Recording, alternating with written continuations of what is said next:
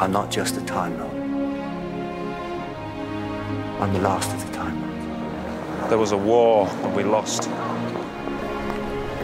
Time War. The last great Time War. And you fought. And killed. My people fought a race called the Daleks. For the sake of all creation. And they lost. Everyone lost. What news of the Doctor? He still possesses the moment, and he'll use it to destroy Daleks and Time Lords alike. I was the only one who could end it. The time will end. And I tried, I did, I tried everything. What did it feel like, though? Two almighty civilizations burning. You must have been like God. You want to be forgiven. Don't we all? Dalek survived. Maybe some of your people did too. I know. In here.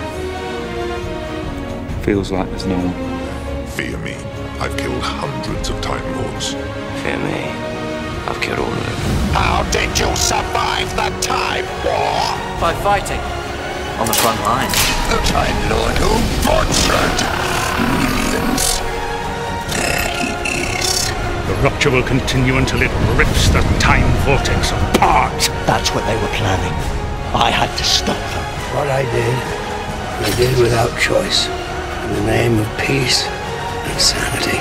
But not in the name of the Doctor. Why so shy? Show your companion. Show her your true self. At the time of ending, the Doctor's soul will be revealed. He is my secret. Thank you.